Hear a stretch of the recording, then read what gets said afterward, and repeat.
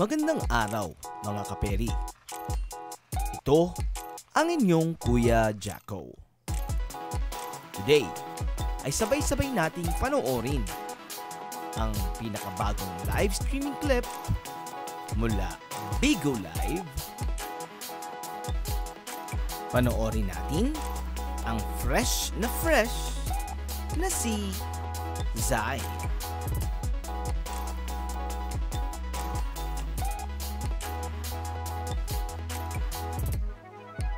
Maputi, makinis, at brunette.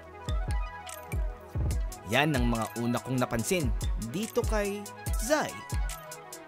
Siyempre, given na yung magandang mukha at sobrang kissable na mga labi.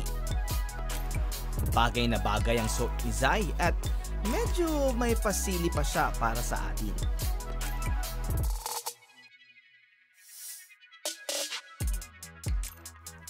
Bilugan ang mga mata nitong si Zai. Ewan kung may lahi siya pero ganyan ang mata ng mga Japanese. Napapadalas kasi ang panonood ko ng mga Japanese movies eh. Gayun din yung mga Japanese anime. Alam mo na.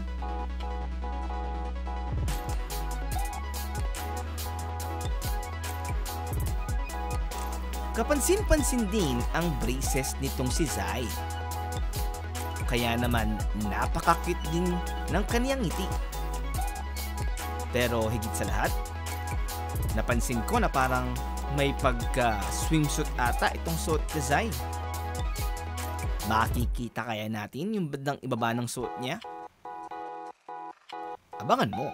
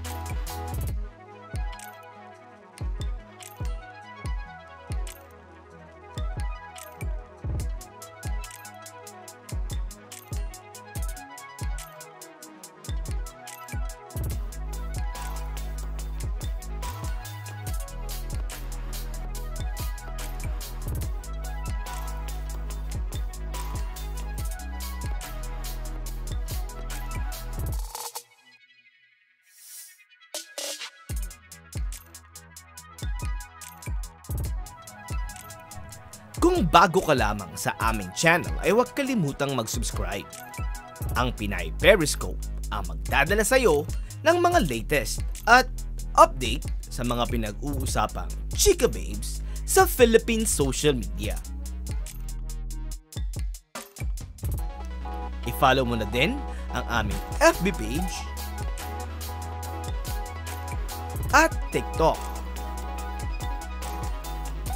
Mag-like, comment, share, and subscribe. Enjoy mo! See you in the next video!